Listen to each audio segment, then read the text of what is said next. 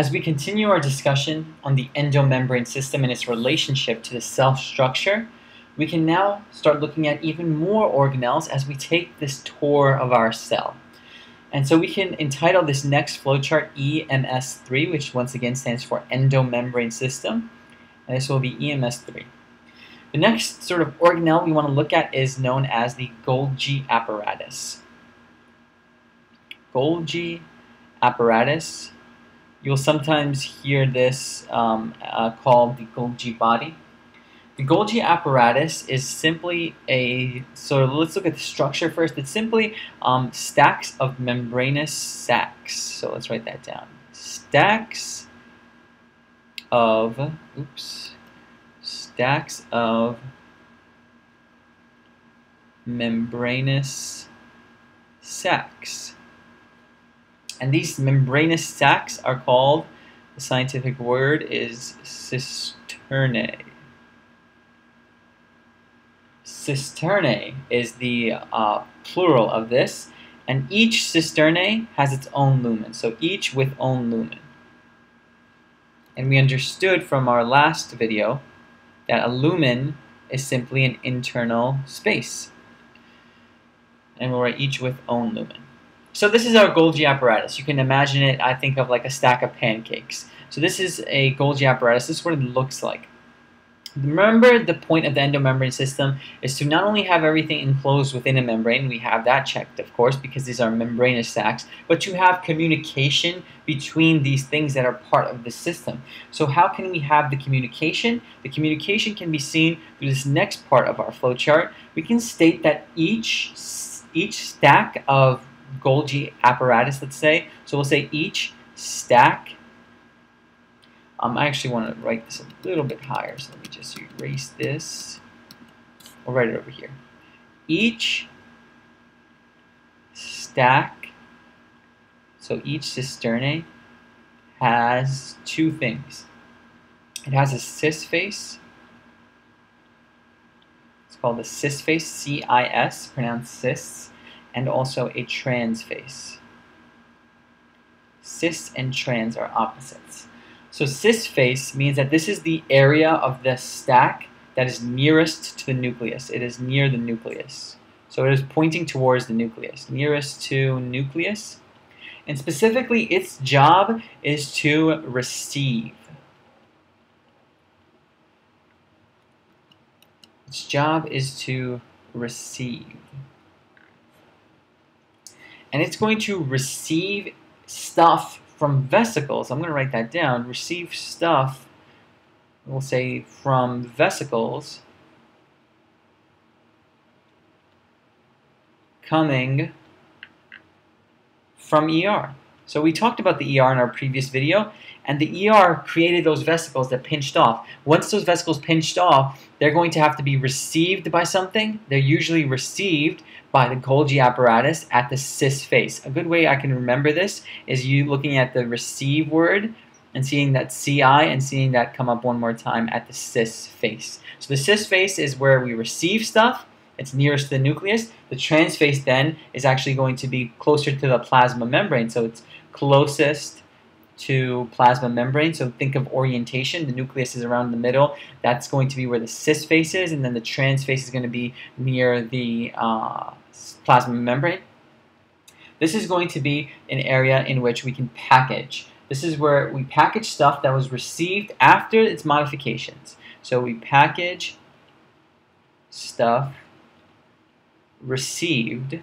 Remember we received at the cis face, so now once we've received it, we're going to modify it. So we package stuff received after modifying,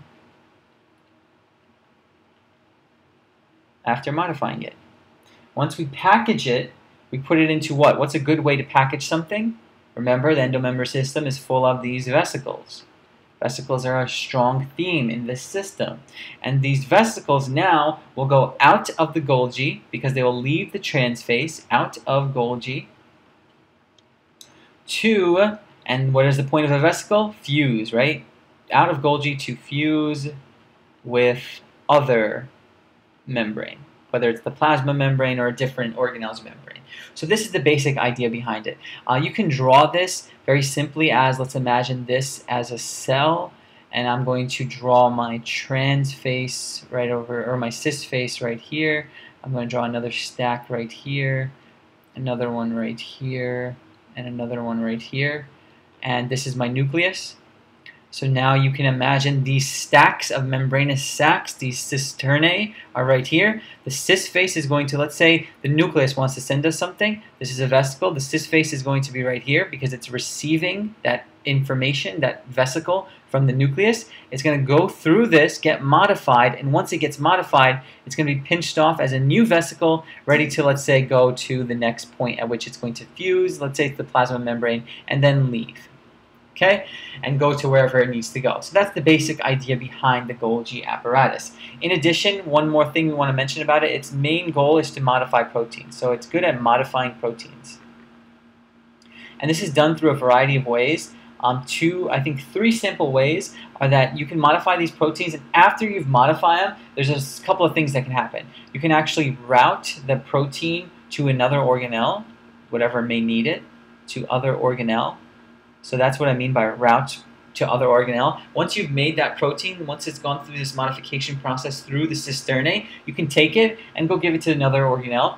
You can now go to the plasma membrane maybe and fuse with the plasma membrane, or you can um, even just be secreted from the cell, and I sort of showed that in my drawing. So we can write secretes from cell. So all three of these are sort of end-all be-alls of the modification that happens at the Golgi apparatus. The next part of EMS3 that we want to talk about, the next organelle, is the lysosome.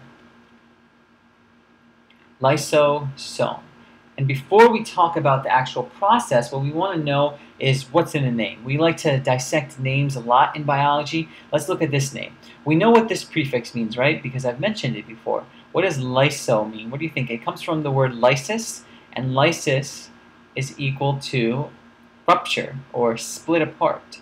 Remember hydrolysis? Hydrolysis, we split with water. This is another way to say lysis. And you know what some means? Some is just another way of saying body.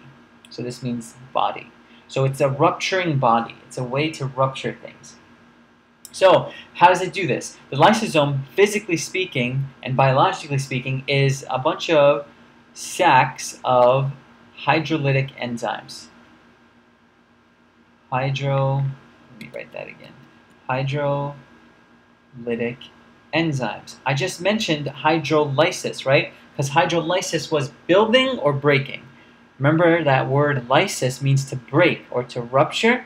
So sacs of hydrolytic enzymes. The lysosome is this structure, just imagine it as like a circle that has it's full of hydrolytic enzymes. These hydrolytic enzymes are ready to rupture things that need to be ruptured, ready to split things that need to be split. There are two sort of ways to categorize a lysosome. A lysosome can be either a primary lysosome, primary lysosome, or secondary lysosome, depending on the state at which it's in. A primary lysosome is defined as something that has been processed in the Golgi and buds off. So this is basically the lysosome at birth, processed at Golgi. So the Golgi is in charge of making, let's say, a nice primary lysosome process at Golgi and then buds off because it itself, look at it right here, this is a lysosome, very simple lysosome, but still a lysosome. Um, this is something that's going to come off the Golgi and bud off as a vesicle, so it buds off. Process at Golgi and buds off. The real action happens once we have a secondary lysosome. A secondary lysosome is the combination of a primary lysosome and a separate independent vesicle that needs to be destroyed. That vesicle, let's say, has toxins in it. That vesicle has some bad stuff in it that the lysosome is going to fuse, the primary lysosome is going to fuse with it and then destroy the vesicle and its contents. So we'll write that down. This is then going to create a structure that destroys vesicle plus contents of vesicle. So that is our function of these hydrolytic enzymes. Hydrolytic enzymes are a good way to break things and destroy things. One interesting note is that the lysosome is membrane bound. It's obviously going to be membrane bound because it's part of the endomembrane system, but more importantly, the reason why it's membrane bound is because you have these weapons, these dangerous hydrolytic enzymes that if they were to, let's say, imagine in a cell, let go to be free in the cell, what do you think they're going to do? They're going to cause havoc. They're going to actually kill the cell if they're free floating. So we have to put them in a membrane. And we put them in a membrane so that we protect the cell from self-destruction. Protects cell from self-destruction. And in addition, we make sure that this lysosome only works at a low pH. So we can write that down um, on the side over here. It only works at low pH. So it only works in an environment, let's say, that has these hydrolytic enzymes within it. Once the hydrolytic enzymes are released, then it becomes sort of not as low pH as, let's say, imagine this area has a very low pH. The rest of the area, if we release them, doesn't have as low pH, so it's not going to work as effectively. That's sort of a sort of safety net that the cell has to prevent self-destruction.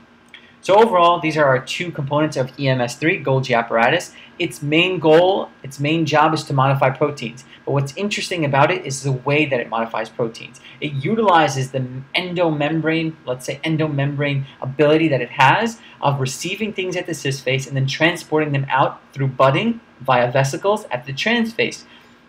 And then we have uh, a variety of things that can happen once they bud off. In addition to that, we have a lysosome that is birthed at the Golgi, originally it contains hydrolytic enzymes as a primary lysosome, but once it itself fuses with, there's that word again, vesicle, once it fuses with a vesicle that needs to be destroyed, it will destroy the vesicle and its contents, and our cells have a very nice safety mechanism of membrane bounding the lysosome so that it protects itself from self-destruction. And that covers EMS 30.